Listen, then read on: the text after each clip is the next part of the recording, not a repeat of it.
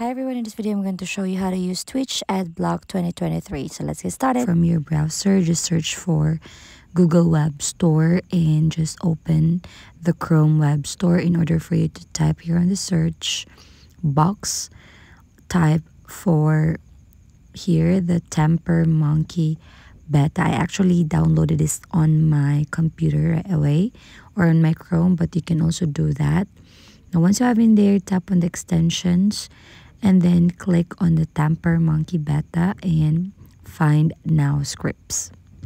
Now in here, once you're on this page, search for the user scripts now by tapping Twitch ads and you'll be headed to this um, options here where you can see. So just tap any of those. So let me tap this first one. Twitch ad solutions, Yeft and you'll be able to see this wherein you can look scroll down a bit and find there the user script. Tap on it.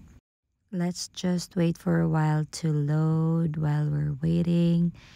And it will appear right away. Three two one. Okay there you go. So you'll be added to this page.